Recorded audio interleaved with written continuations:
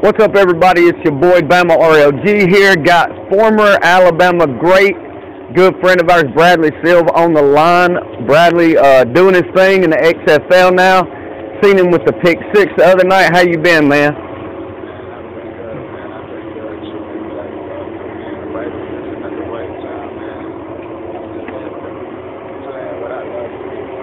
That's good. That's good, man. I, I used to love watching you suit up in crimson, and it it just reminisce the other night watching you get down just all the time that you had at Alabama and the, the great accomplishments that you were able to to kind of you know undertake while you were there. It's really good to see you on the field again.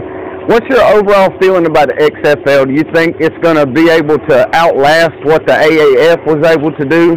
How you how you looking at it?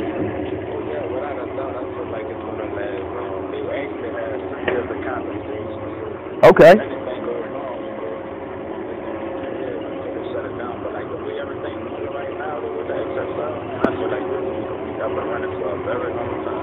I know I'm gonna have to get me a plane ticket and get up around DC and watch one of these games here real soon.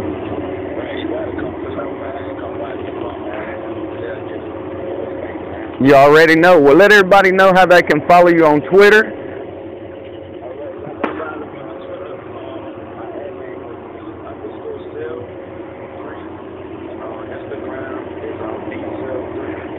Yep, check him out, Bezo on Twitter uh, former Alabama great Bradley Sylve. Good to talk to you, man. It's good to good to see you doing your thing. Wish you nothing but the best. And we're gonna get up through DC real soon and check you out. Uh, everybody, if you haven't already, you can follow the DC Defenders on Twitter, and of course, follow your Bama Bros at Bama RLG. Bradley, it was good to talk to you, man. I appreciate you giving us a few minutes of your time today. Roll Tide. Yes, sir. Great to have a chance to catch up with one of our really good friends, former Alabama great Bradley Sylve, just a few moments ago.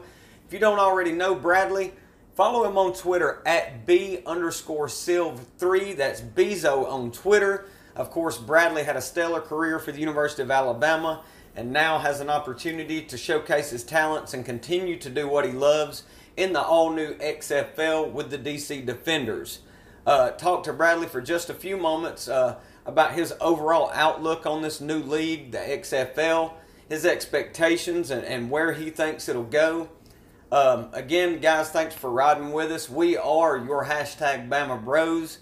Bama RLG here, signing off. Roll Tide.